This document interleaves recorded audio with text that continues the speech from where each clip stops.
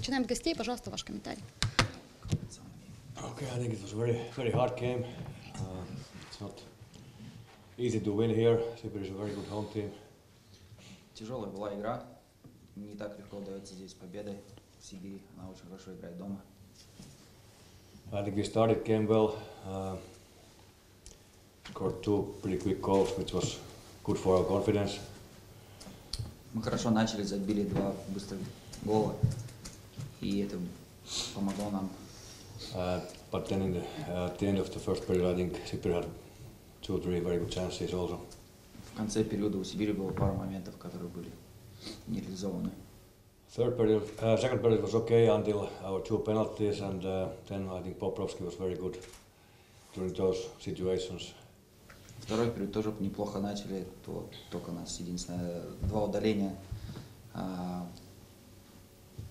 сбил нас немножко, и в этот момент Бобровский хорошо сыграл, поэтому And third period was, was I think we played smart until until they scored the first goal, and then of course, of course we were like, under under pressure. But uh, unfortunately for us, we managed to keep the score 2-1 for us.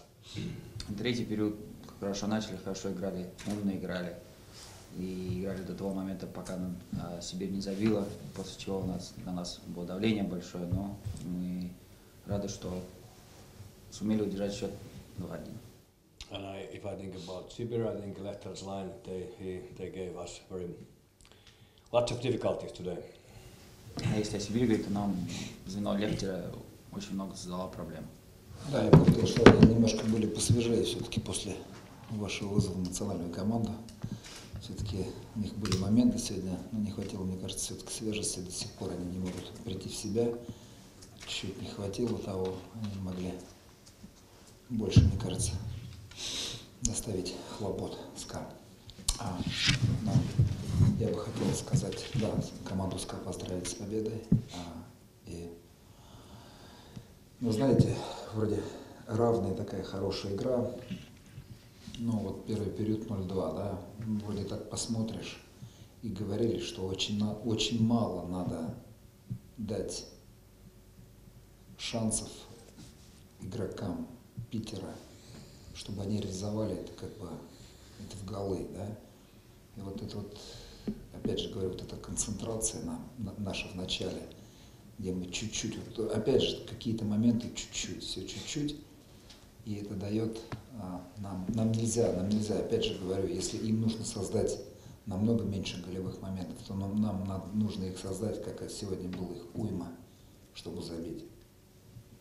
Вот, к сожалению, это так.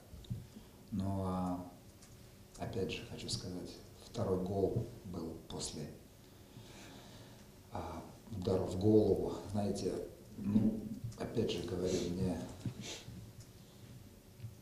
знаете, очень было неприятно, да, когда начинаешь разговаривать с арбитром, да, и тебе человек не вопрос, знаете, ты просто скажи там, ну, пропустил, не видел, даже после первого периода подошел, посмотрел фильм, и говорю, чистый удар в голову, да, и в наглую человек такой, в наглую говорит, мы тоже смотрели, было все в плечо. Вот знаете, все может быть, мы каждый ошибаемся, каждый из нас что-то, а, каждый у нас как бы не, не да, вот, но опять же говорю, есть, если ты ошибся, имей как бы смелость. Я не знаю, четыре глаза, четыре, два арбитра не видели, не видели этот удар в голову, после чего был второй гол, который, в общем-то, и перевернул игру, смазал все, нам гандикап 2-0 соска очень тяжело отыгрывать. Для меня вот это очень довольно-таки неприятный момент. Очень неприятный момент. Можно все там пропустить, зацеп, можно все. Наверное, это говорит о квалификации, если, если они это не видели. Я не думаю, какая-то предвзятость здесь была. Но это, ребята, это очень плохо. Это очень плохо. Это, это никуда не годится. Спасибо. Вопрос, пожалуйста. Вячеслав Ильич, еще в третьем периоде в конце было, что заметка возникла до тайм-аута. Что, что хотели себе поговорить по поводу шестого периода? Не скажите. Ну, Мы немножко ломали игру, дали Немножко там опять же нам показалось, что опять посмотрим, опять будем разговаривать, пошлем, если что. Опять нам показалось, что на Лехтере было удаление. Опять не развел руками. Ну, нужно, ну, вы понимаете, ну, опять же, ну, работают все, хоккеисты работают, эмоции дают, э, дают, ну и также арбитр работает, он должен что-то показать, должен показать, пришел полный зал, он должен показать, или не был, ну ничего, вот, вот действие арбитра никакое, я не пойму, или это какая-то заторможенность, или это такая, то, что он самое главное, я не могу понять, но ты должен что-то показать, должен что-то объяснить, опять, ну, очень много нареканий, но, не знаю, квалификация, есть иностранные арбитры, есть, я слышал, что неплохие условия для арбитров. Опять же говорю, не знаю, но сегодня очень это разочаровало. Как вам квалификация российских арбитров вообще в целом? I think referees are the same wherever you play, Finland, Sweden, Russia. Sometimes they make mistakes, sometimes we coaches make, sometimes players make. That's the way it is. Я считаю, что арбитры одной квалификации, в принципе, в- и в Финляндии, и в России, как и везде.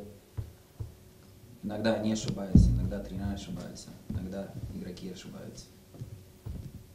Вопрос Вики Ялнина. А Общались ли вы с Владимиром Тарасенко до игры? Было понятно, что для него сегодня особенный матч.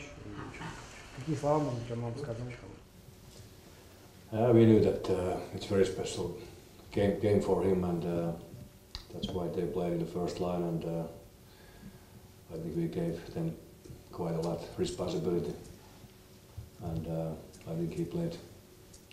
He didn't start so well, but he improved during the game, which is which was good for us. Да, конечно, мы знали, что это будет для него специфическая игра, интересная для него, и поэтому, в принципе, они вышли сегодня в первом звене и достаточно большую ответственность на ней положили. Но начал он не очень хорошо, но постепенно-постепенно нарастал, был лучше и лучше. Еще вопросы будут? Нет? Спасибо, тренер. Yes, спасибо.